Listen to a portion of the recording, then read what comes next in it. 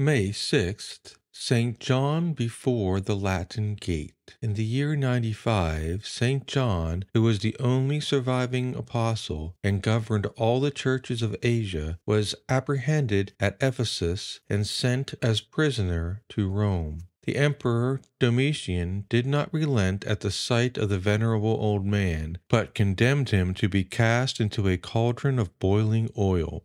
The martyr doubtless heard with great joy this barbarous sentence. The most cruel torments seemed to him light and most agreeable, because they would, he hoped, unite him forever to his divine Master and Saviour. But God accepted his will and crowned his desire. He conferred on him the honor and merit of martyrdom, but suspended the operation of the fire, as he had formerly preserved the three children from hurt in the Babylon furnace. The seething oil was changed in his regard into an invigorating bath, and the saint came out more refreshed than when he had entered the cauldron. Domitian saw this miracle without drawing from it the least advantage, but remained hardened in his iniquity. However, he contented himself after this with banishing the holy apostle into the little island of Patmos. Later, St. John returned to Ephesus in the reign of Nerva, who, by mildness, during his short reign of one year and four months, labored to restore the faded luster of the Roman Empire. This glorious triumph of St. John happened without the gate of Rome called Latina.